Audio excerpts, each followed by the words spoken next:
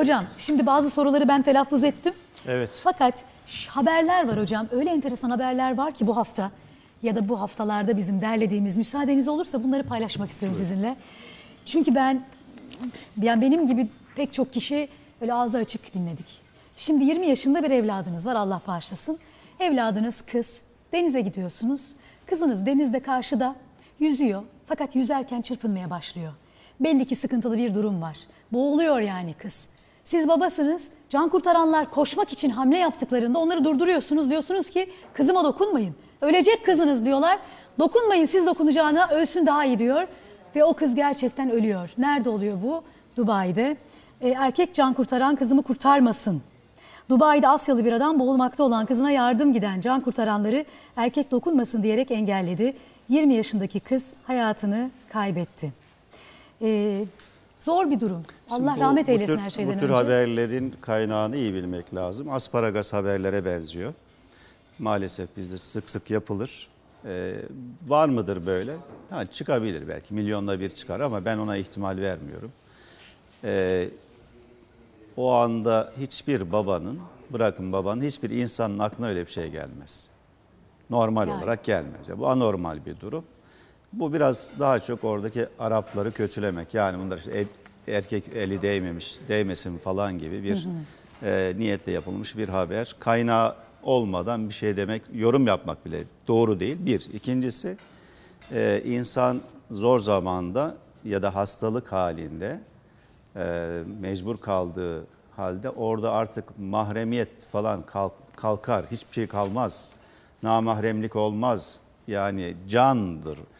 İster hayvan olsun, ister insan olsun, ister canavar bile olsa karşındaki ölen, boğulan onu kurtarmak için erkek mi, kadın mı, dişi mi efendim buna bakılmaz. Genç bir ihtiyar buna bakılmaz.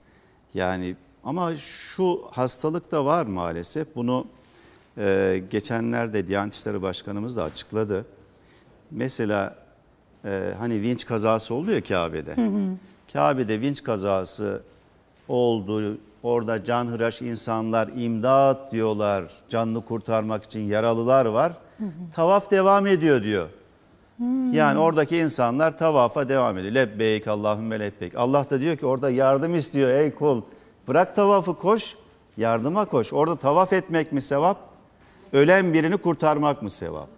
Şimdi bu hastalık bizde de var bazen. Ben de gözümle gördüm. Cuma namazında ben orada e, yıllar önce bir yerde camide vaaz ettim. Sonra geçtim namaz kılıyoruz. Bir gürültü patırtı duyduk. Tam cuma namazı kılarken adam cuma namazı esnasında bayılmış, düşmüş. Yanındakiler namazı bozup yardım etmiyor. Aa, belki kalp krizi geçiriyor adamcağız. Kalp krizi geçirdi ve öldü. Rahmet rahmetli oldu Allah orada. rahmet eylesin. Şimdi hepsine kızdım orada. Yani siz bunu görüyorsunuz da "E, namaz bozulur mu? Ya namaz zararlı bir hayvan gelse namaz yine bozulur. Yani can tehlikesi varsa efendim bir yılan çıyan gelse namazını onu bozmadan öldürebiliyorsan seni sokacaksa, zehirleyecekse namazı bozmadan öldürürsün. Namazı da bozmaz hatta ayağınla falan ezmeye çalışsan. Kaçırmaya çalışsan. Ama yapamadın namazını bozdun. Can var tabii namaz orada bozulur. Sen telefonla konuşuyorsun şimdi cuma namazında neredeyse o hale getirdin namazı Ya. ama bozulmaz diye yanındaki adam ölüyor namazı bozmuyorsun. Böyle bir hastalığımız da var.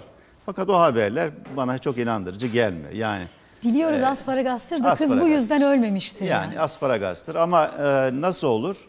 Bir insan orada boğuluyorsa artık yaşına, e, efendim elbisesine, çıplaklığına falan bakılmaz. Can var orada. Tabii. Orada can var. Doktora da hastası tedavi edecek şekilde cinsiyeti ne olursa olsun. Hocam burada bir virgül koyabilir miyim? Koyalım. Söyleyeceğiniz şeyi tahmin ediyorum. Evet. Ee, madem bu konuya girdiniz biz izleyicilerimize sorduk. Dışarıya çıktık. O görüntülerimiz hazır mı arkadaşlar?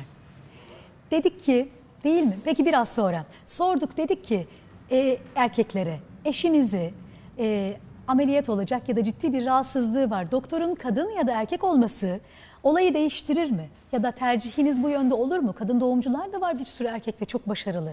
E, benim de kadın doğumcum erkek mesela. Şimdi bir gidelim, bir soralım izleyicilerimize. Bakalım onlar ne cevap vermişler. Sonra da aynı suali size sormak istiyorum. Bir başka problem olursa. de var. Onu da değineceğim. Peki. Ölen bir hanım mezara kocası koyar mı işte Aa, efendim. doğru bu da sorular. Tabii Bravo, bu da yabancı çok güzel mı? sorulardan o biri. da var. Evet. Peki hocam o zaman önce bir izleyelim bakalım izleyicilerimiz ne demiş? Yani doktor erkek mi olsun kadın mı olsun? Böyle bir tercihiniz var mı? Buyurun ne dediniz bakalım? Eşinizin gittiği kadın doğum doktorunun erkek ya da kadın olması sizin için önemli mi? Vay. Önemli değil. Değil mi? Değil. Yani erkek de olsa kadın doğum doktoru müsaade eder misiniz? Tabii ki doktor yani. Önemli. Yani erkek kadın doğum doktoruna gitmesini istemez misiniz? Ya zoraki durum olursa gidilir tabii de ama genelde kadın doğum seçiliyor yani. Siz peki kendi eşinizle kadın doğumcuyu mu seçtiniz? Aynen. bayan erkeği yok mu? Sonuçta iş sağlık olduğu zaman bayan erkeği problem değil. Ha bazıları farklı düşünüyor o ayrı konu. Kadın varsa kadın kadına gönderirim, kadın yoksa erkeğe gönderirim. Peki erkek kadın doğum doktorunun doğum yaptırmasına müsaade eder misiniz eşiniz? E, yoksa mecburen edeceğiz tabii. kadın olmalı. Peki erkek olursa müsaade eder misiniz? Müsaade etmem ama mecburiyet dahilindeyse olabilir. Yani bayan olması daha iyidir yani. Erkek olursa müsaade etmez misiniz? Ya ona tıbbın yani verdiği şeye biz karşı değiliz fakat bayan olması daha iyidir yani. Hiç fark etmez. Benim elinizden öper. Üç tane çocuğum var. Son ikisi kız. Kız olanların ikisini de erkek doktor doğum yaptırdı. Bu soruyu siz çocuğunu okutmayanlara sorun ki akıllansınlar. Şimdi çocuklar okumazsa, bütün veya bütün okuyanlar erkek olursa, kız doktor yetişmezse kime doğurtturacaklarmış? Önemli tabii kadın. Kadın biz, bizim için kadın olması lazım. Peki erkek olursa yaptırtmaz mısınız doğum? Ya mecbur kaldığı şey yaptıracaksın, mecbur kalacaksın. Mecbur olmadıkça kadınları şey yapacaksın tabii. Müslüman bir insansa artık onu düşünmesi lazım. Beyefendi yürekten tebrik ediyorum. Bir önce konuşanı. Ben hepsini tebrik ediyorum. Tabii hepsini tebrik ediyoruz. Halkın ölçüsü güzel. Hiçbir yanlış cevap orada kolay kolay görmedim. Gayet yerinde cevaplar verdi. Şöyle de düşüne, düşünebiliriz. Mesela Allah uzun ömürler versin hepsini ama diyelim ki bir hanımefendi öldü. E, cenazesini canım erkek mi yıkasın kadın mı yıkasın fark etmez. Yerine e, kadın varsa kadın yıkar.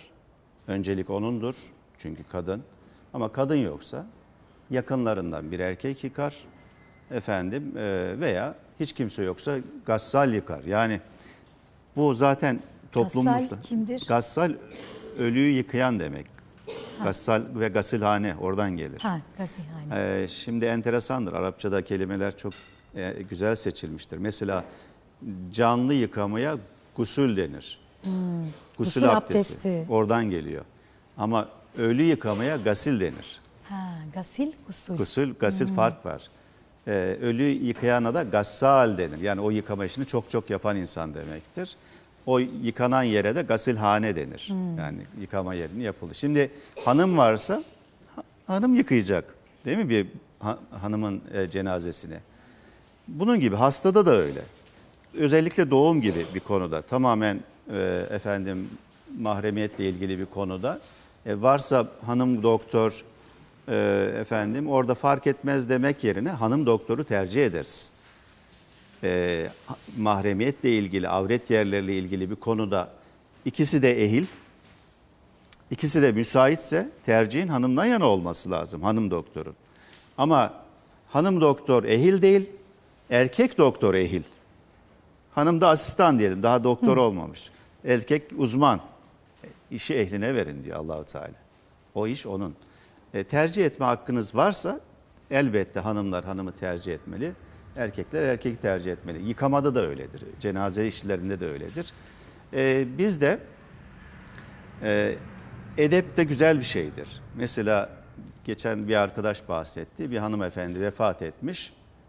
Ee, erkekler mezar başında, kadınlar mezar başında. Mezara koyarken hocam dedi üzerinde bir mezarın ön- önüne bir çarşaf çektiler. Hanımı işte oğulları e, mezara koydu. Yani hanımın kefeni de görünmedi koyarken, tabuttan çıkarıp koyarken görünmedi. Bu dedi acaba yanlış mı oldu? Ben dedim güzel olmuş, yanlış olmadı. Neden? Çünkü Allah korusun hani bedeninden bir şey akar, e, başka türlü görünür, son görüntüsü öyle olmamalı. Bir hanımefendi e, giderken de görüntüsüyle akıllarda iz bırakma, kötü bir iz bırakmamalı. E, çarşaf çekilmiş. Ona bir mani, e, bir zararı yok mezara koyarken. Kendi çocukları indirmiş. Bu olur. Bunda sakınca yok. Ama şöyle bir kanaat var. Bu kanaat çok çirkindir. Kita- kitaplarda var mı? Kitaplarda var. Kitaplara her şey girmiş. Yani Kur'an'dan ve sahih sünnetten siz bilgiyi almaz da onun kitabında, bunun kitabında ne var diye bakarsanız işin içinden çıkamazsınız sevgili kardeşlerim. Kur'an'ın dediği başka bir din olur, senin dediğin başka bir din olur. Ne diyor? Efendim diyor ki karısı öldüğü zaman kocası onu efendim artık boşamış gibi olur, kocasına haram olur. Kocası karısını mezara indiremez diyor. Kocası karısına bakamaz diyor. Yüzüne bakamaz diyor. Bırak onu. Ölmüş karısının yüzüne bakamaz diyor. Kitaplara girmiş bu. Bu Peki insan doğru mu bu böyle bir şey var mı? ama bu uygulanıyor bu. Bazı cemaatler, bazı efendim Hmm. gruplar bunu uyguluyorlar. Ve bunu dini çok önemli bir efendim kuralı gibi zannediyorlar. Efendim adam ölüsüne bile ağlayamıyor. Yani karın diyor sana haram oldu artık. Odasına giremezsin, yüzüne bakamazsın, mezara indiremezsin vesaire. Yabancıdan bile öte geçiyor adam. Böyle bir şey yok. Ya öldüğü zaman bir insan, bir başkası bile olsa ona yardım eder, mezara konulmakta. Şimdi onun ne kadar yanlış olduğunu şuradan anlıyoruz. Peygamber Efendimiz Aleyhisselatü Vesselam'ın kendi kızı vefat ediyor. Peygamberin kızı. Peygamber diyor ki bugün içinizde gece günah işlememiş biri inandı, inanan bir insan varsa kızımı mezara o koysun. Ashabtan biri güçlü kuvvetli diyor peygamberin kızını mezara koydu. Allah Resulü'nün kızını mezara yabancı bir erkek koydu. Bak oluyor. Sen kocasına mezara koydurtturmuyorsun. Senin dinin kimin dini? Benim dinim Muhammed Aleyhisselam'ın dini. Ben onu örnek alıyorum. Sen kimi örnek alıyorsun? E kitapta yazıyor. Kitapta her yazan doğru değil kardeşim. Kur'an'da yazacak. Sünnette yazacak. Senin kitabının yazarını sen biliyor musun?